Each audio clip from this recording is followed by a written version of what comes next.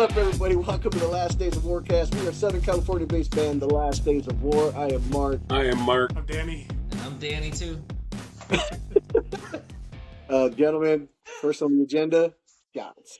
Shots. Gatorade. Did you say Gatorade? I Yeah, saw so- Yeah, I uh, That didn't oddly enough, like I don't have any shot glasses in my house, and I rarely have alcohol here unless like people come over. So the only time I really drink is when I'm over there. Not to not to pop the cool bubble here, guys. My bad. What would But, they say uh, about you at the meetings? Um. Robb, how you doing, buddy? How's it going out there? Oh, it's going. It's going. You know, just a million miles a minute. You know. Um. But today, uh, we we got a couple of announcements. One, as much as we wanted Little Karma to come out on 7-Eleven, I think it's gonna get pushed back. yeah, I think till the probably around the the first week of August, I believe, is what we're we're looking at. So Yeah, just to give it enough time to promote, but just know that there's going to still be a little karma coming out on July 11th. Uh, Yeah, for sure. Yeah, man, that's being that fine. it's free Slurpee Day. I'm always I'm always uh quality over what we're releasing over let's hurry up and release it. So, you know. Yeah. yeah, Except for Into the Stars, but we're we're not going into that one. You know. what do you mean we're releasing the song now? Yep, we just did it. So I'll tell you the story behind that, Robb. We were waiting to finally start releasing stuff and uh Danny and I looked at each other and were just like, let's just fucking do it so we can fucking get it going. I think that's what we did. so uh yeah. That's what happened. I mean, You you, know, we bet. definitely we definitely uh you know pushed it down the hill. I guess you know. I mean, Yeah. yeah. Got that ball rolling.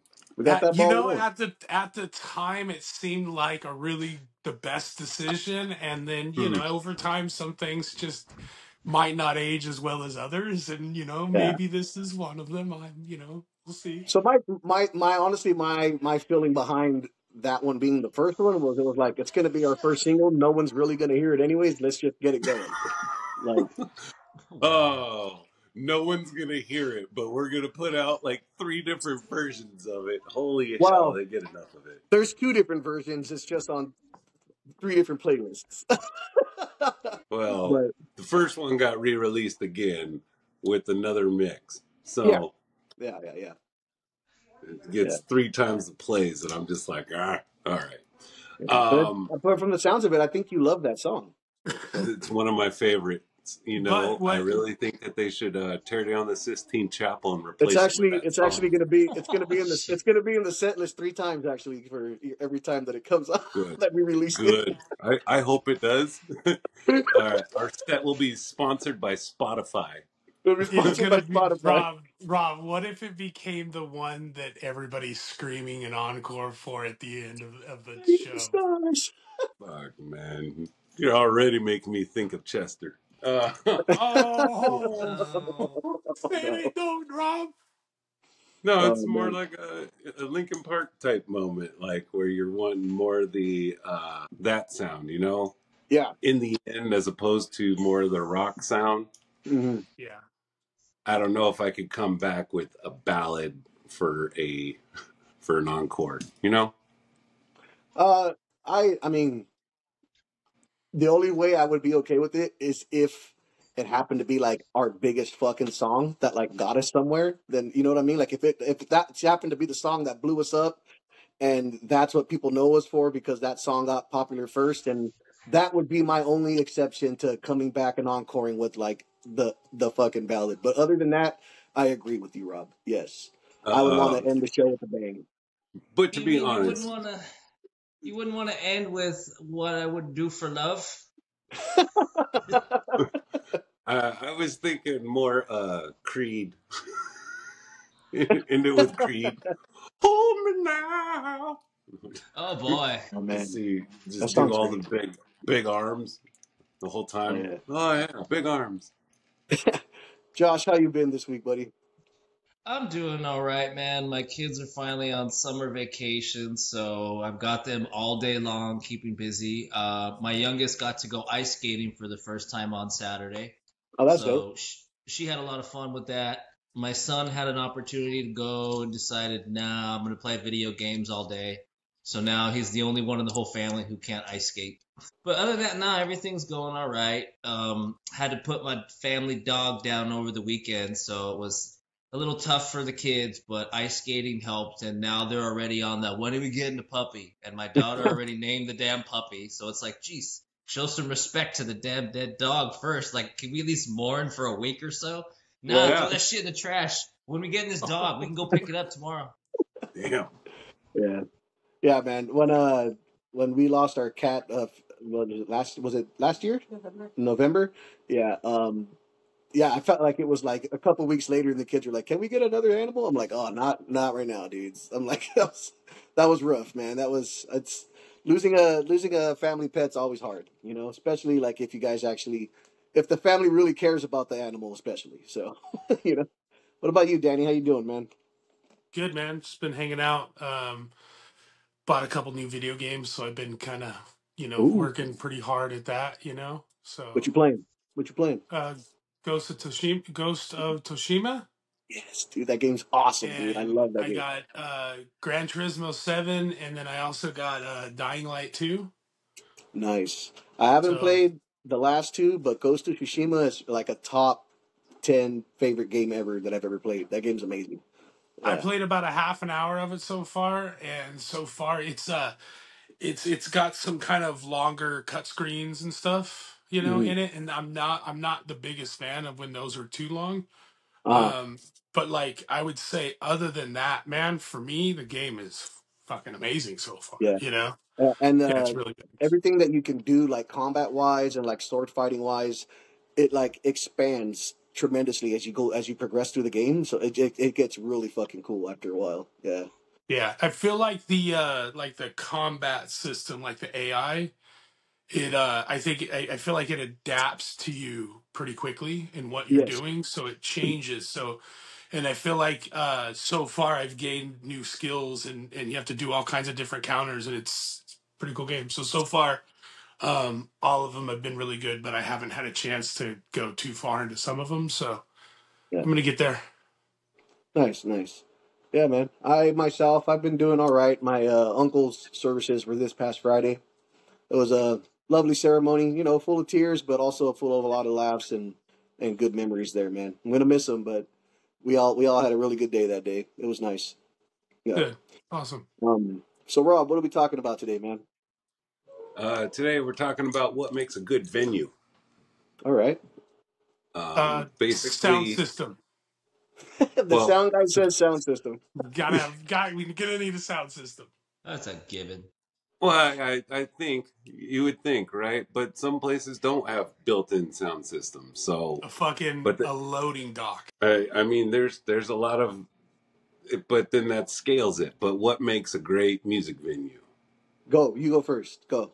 Um, Bathrooms with toilet paper. Laundry well, I mean, okay, but all ages. Do you have an all-age venue that doesn't serve alcohol, or do you have uh 21 and up? So both both of both. I, I mean, obviously, we've all played both types of shows, right? So, Hmm. um, they're both fun for very different reasons. But for me, I, I prefer the older crowd, the twenty, you know, the twenty-one and over crowd, because not worried about a pit starting and a kid getting hurt or something. You know what I mean? Like, so uh, just a little bit uh, less of uh, liabilities going on when it's a twenty-one and over crowd. You know? I feel you. Um, and then obviously, Danny, you said sound. Yeah. Is there is there a level of which a venue should have? Uh, you know, most most riders I've ever seen and riders that I've written is is anything that'll do, you know, uh, 129 decibels peak, you know, for over a period of time, you know. So and then and then of course, you know, depending it's a it's a fun situation because when you're walking into a venue and you're using, you know, maybe you're bringing a console and you're just using their stacks and racks, you know, their speakers and amps and their whole system there. Um, it varies. So I feel like uh, PA system, you know, um, is a big thing, and I think we've talked about it too before. Is I've seen some bands riders that are just insane with the different stuff they're asking for, and Well, uh, we'll save we'll save that in for the for the back end of this. But uh, but as far as sound goes, does is there a a size?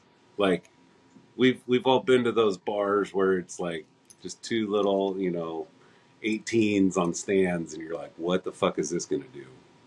You know? Uh, if it was like a if it's like a thousand person venue, I would probably go like you know uh, maybe three uh, you know four 18 subwoofers system, and then I'd probably go eight, you know, probably eight mains flown aside, or you know, depending what size it is, you know, smaller C- PA, probably at eight. If it's a bigger one, probably four mains, you know, per side. but they should already have that for at least a thousand person capacity venue right Yeah, but you'd be surprised. You you you, hope, surprised. you, you wouldn't be in business very long i would think yeah, like Uh, if you a thousand person capacity and you didn't actually have a sound system like you don't yeah. actually have a business that's Well, like I, I worked, I worked for a venue that that had way more PA than what they needed for the building, and I've had a few artists that had came through that venue that they would bring their own subs and they would put them out in front of the sub in front of the stage because they didn't want the subs under the stage because there was so much power that it was just they could feel it and they didn't want to feel it. Where me, I'm like, I want to feel that shit. You know, I want to feel it through my feet, you know? yeah. So i want to watch the drummer vibrate off the stage just the the So it's not. venue that I I the venue that I worked at started to do audio at. If if the a bass player and it was cranked up enough, hit the right note, you were either gonna fall down or shit in your pants. So or both. definitely you need you need a good amazing PA. Yeah. One thing I love about going to shows with Danny is like, so we've been to a few together now, and he'll look around and he'll look at the setup and he'll be like, "Yeah, this show's gonna sound good." Like he'll instantly know. Like just look, he'll just take a quick, he'll just take a quick look and he'll be like, "Yeah, this is gonna be a good show because uh, they have the There proper shit here." there's You there's know? certain brands of gear that like certain level of people can't fuck with because the price tag is so much. So when you see that type of gear, there's a good chance that if the audio engineer that night isn't great, at least he's on a system that's probably tuned very well and it's taken care of. Yeah. So hopefully at least, at least, yeah, but it's like at least the audio guy that that's decent is walking in with a fighting chance. You know, I mean, I've seen some guys walk into venues where like the room isn't tuned and you know, guys just, I mean, the the graphic EQ he's got, the cuts he's making, you're just like, oh, I'm gonna jeez, ask you you guys a question. I'll, I'll ask you guys a question. How do you guys feel about venues that require you? They're like, you're using a backline. We have a backline. It's it's backline for you. Don't bring any of your shit. Maybe they just tell the drummer, bring your cymbals. That's it. And then the shit's fucking falling apart. Uh, Josh, I'll I'll let you start with this because you, you being a drummer, I'm sure uh, it affects you the most, right? So Oh, oh, yeah, yeah. Uh, we, could speak from a mutual experience. Um, I've done shows with you where we've been told that there was not going to be a backline, had to bring all of my own equipment, then show up for loaded, and they tell us, oh, by the way, there's a backline kit and we need you to use this, and you can't use your own shit. yeah, And now you got all your gear hanging out. Yeah, yeah, and it's and, like, okay, well then what am I gonna do with all my shit? And then it's a problem that, oh well, we can't have you leave it in the venue because it's blocking stuff.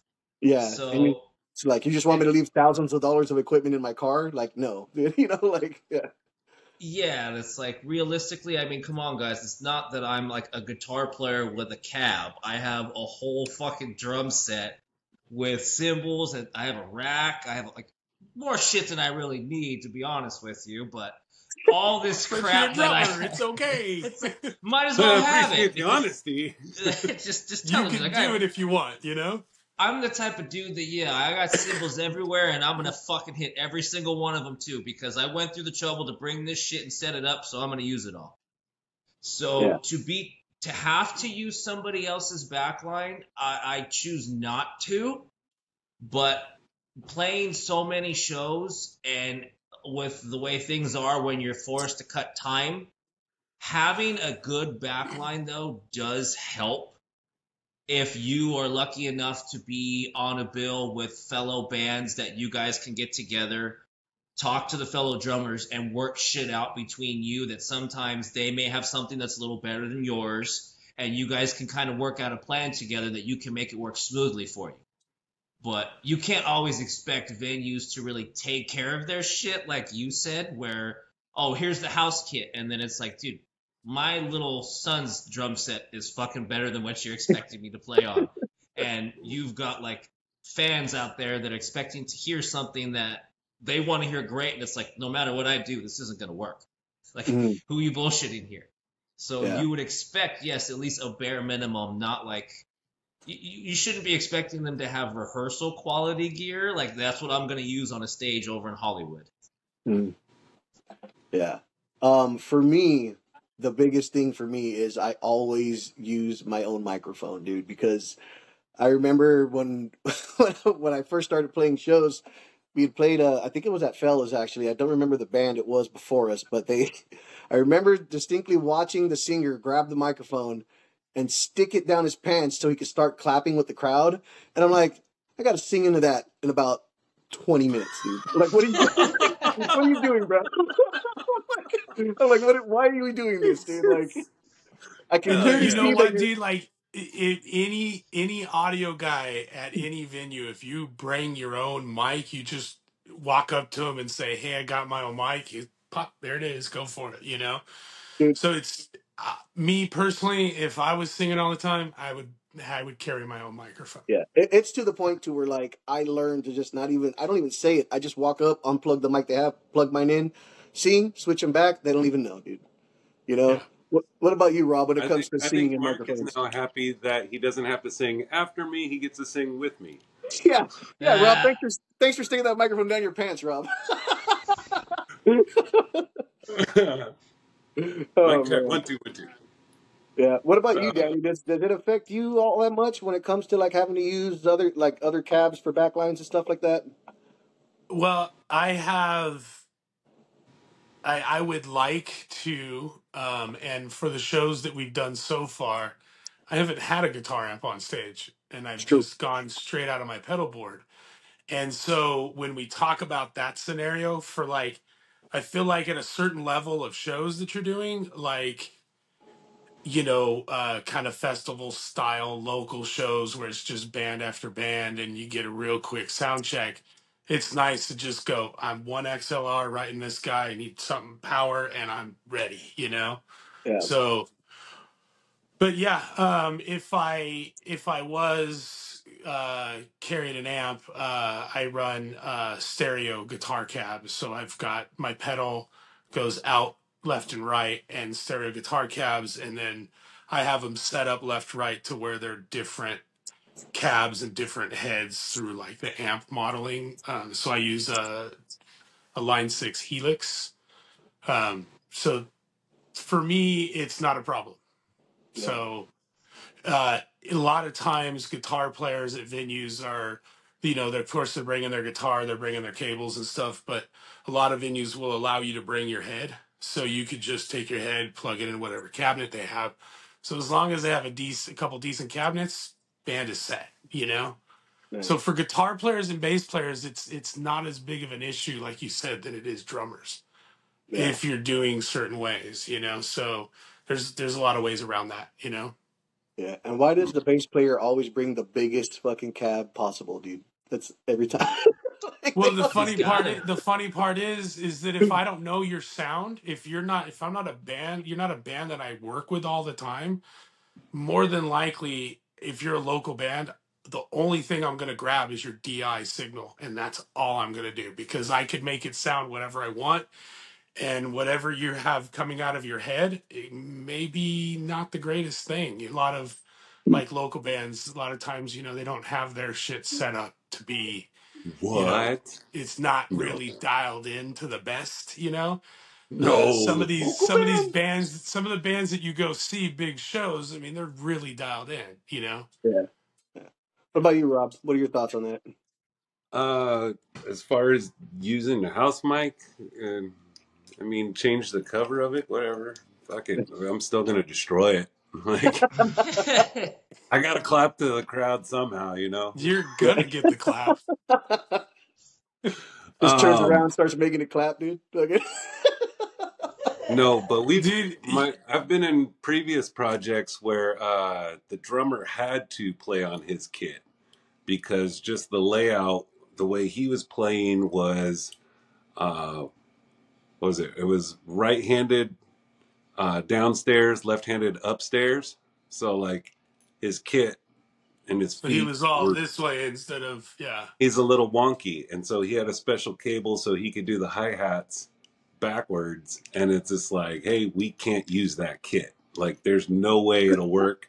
But we brought a crew that could switch this whole thing out and have it up and ready in less than five. And Oh, okay. that's every member. And they're like bullshit. No you're using the house kit. And we're like trust us. Stay out of our way. We can do this and it was like clockwork and everyone moved around everyone kit was set up the other kit was set up down on the ground. Any complaints? No no get it off the stage cool break up. And they're like that was actually the quickest i've ever seen anyone handle that and do that. So part of that being has to fall on the responsibility of the band to be ready for those situations to where you can't switch out equipment but hey uh, you know i got to use my rig but i brought uh, the crew to help me switch it out and get it all set up within a minute Yeah. yeah. So, what are some other things that that you feel make the great venue other than that stuff? Like, is there anything else you can think of on your end? uh great acoustics Mhm. so if you're bumping out so much for the right size of the building or the right layout of the building you know that's a big factor whether it's indoors or outdoors because outdoors you got to bump it what twice as hard just so Mhm. everyone else can hear it in the back Yeah. so you got that that is Bigger an PA. issue too. yeah bigger pa more equipment you Yeah. gotta you gotta boost it up for that atmosphere I don't worry about it uh, so much these days because we have in ears now. But I always hated going to play venues and they didn't have floor monitors for for you. It's like, what are you doing, dude? You know? well i mean to be Trying to honest if the as long as it's loud enough for the crowd to hear like if you can still kind of hear off of that yeah. that's still somewhat of a monitor for me but holy hell yeah no you you got to have a good setup for the artist too Yeah, for uh sure. having monitors that helps too uh but i've played tons of gigs where we didn't have floor monitors and it's just all right go Rah! Yeah. and but those venues were only like 100 person 150 people capacity Yeah. so those will work for that but if you brought like the rig danny's talking about to a place that's the size of you know friar tucks like god damn you are not going to have anyone left that's not going to just be like peeled back you know what i'm saying um Yeah. Yeah, that's like that's you're talking me about a dive bar, yeah. Yeah. yeah like here we go just turn it on fuck all right Yeah. um for me i think a venue needs to have a full bar Yeah. um i've been in a couple of shows where the singer requests like a shot and you're like they don't even have alcohol here how am i supposed to get you a shot like i can't make you happy to fucking theoretically do your job uh and i can't even go buy alcohol so like that makes you kind of hate hate the band you went to go see when he's calling out for shit. But like if you go to a venue, he's like, "Oh, I want a shot of Jack Daniels," and you can turn go to the bar and be like, "Hey, uh, I, I brought you a shot of Jack Daniels," and he's like, "All right, cool." I like the way Yeah, you see how you did that. that. I like what you did there. But you can, you're able to actually accommodate and then build a bond with the band member. You know what I'm saying? Yeah. Hey, dude, thank you for buying me that shot. Let me get you around or whatever. Yeah. The camaraderie around a bar for me is a lot more than just drinking alcohol and getting fucked up. It's the relationships and the conversations we have at the bar. So Yeah. I feel like having a bar there, one brings in the party crowd where you're just like, hey, let's loosen up, liven up, uh, but be responsible, hopefully. Yeah. And so it, for me, that's where I kind of relate. Yeah. And for me, another thing is uh, just making sure that these venues that you're playing at have good security, man, because shit pops off. And if you don't have the proper people there to to get things settled, things can go south really quickly. I mean, we heard Josh tell cr- some crazy stories not that long ago. You gotta bring up my shit. You gotta bring me into this right away. but uh, yeah, no, I mean, we've all, I mean, we've played enough shows to where we've all experienced, you know, something going crazy in the crowd where you're like, thank God there's security here because if not, that could have gone south really, really quickly. So Yeah, real quick. yeah. Um, did you want to go into the to the next to the next thing? Yeah, let's talk about it. Um, real quick. Um, yeah, no, that was real discreet. So discreet. Just, uh, Can I get no, some you're ice? good. You're good. Can I get some ice? I need to chill these shots. Um, okay, so real quick, uh, brings us back to the venue. Uh, when you a band presents a rider, and essentially the rider says, "Hey, these are the things we need in order to play a show to our fullest capacity. Whether it be a case of water, a case of beer, uh, fruit and vegetable platter, whatever it be." certain artists started picking up on little things that you would change, whether it be um, all green M and M's, or you know, I want you to pick out all the brown ones. You know, would it be something unique? So then that way, if the club just goes, oh, they want a case of beer, water, and M and M's, and it's like, well, you didn't even fucking read what we we wrote down. You just read M and M's and got us that. So then the second they saw brown M and M's, you go, oh, they didn't read this shit what would be one unique item that you would want on the rider that you could kind of be like, they fucked up? Two ply toilet paper, dude. Two ply? That's that's not a bad one. Quilted. I want I want it quilted. Yeah, because that bar that bar toilet paper, dude. You fucking wipe your ass with a whisper with that shit. Do you know what I mean? Fucking.